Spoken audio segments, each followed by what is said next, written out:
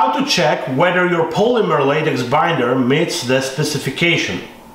I'm Artur, Technical Director at an independent paint lab and today I will show you how to get through the quality control of polymer latex binders for waterborne paints.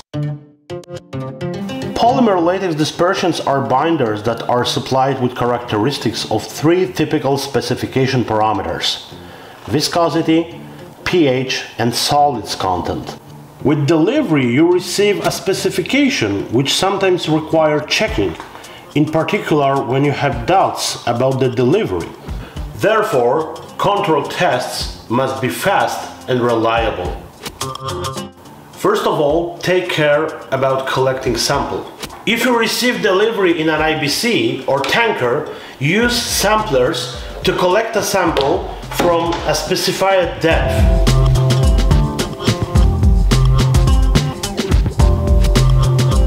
Use ASTM procedures to ensure a representative sample is collected.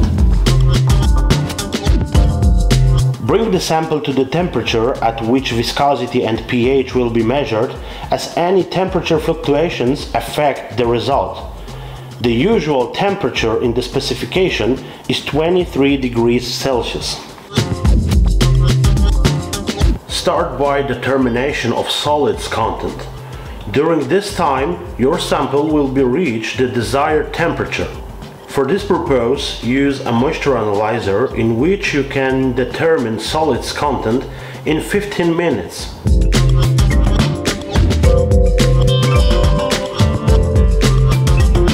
Remember to spread the sample carefully and use a program that allows the water to evaporate completely.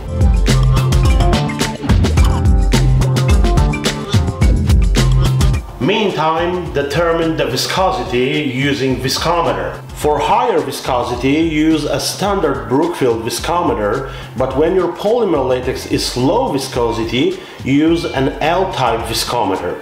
In both cases, determine the viscosity using the same spindles as in the specification or quality control procedure.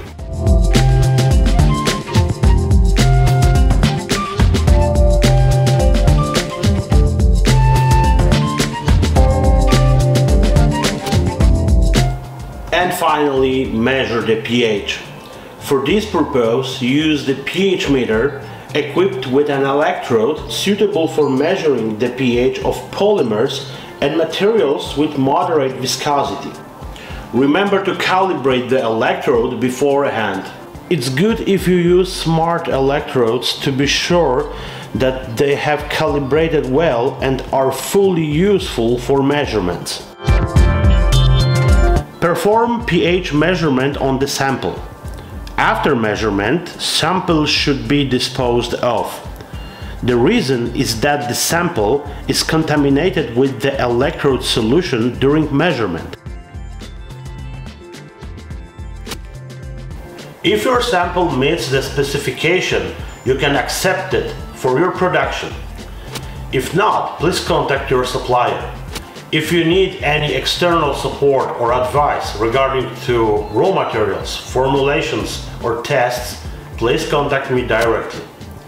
Thank you for watching this educational video and see you in the next one. And don't forget to subscribe our YouTube channel.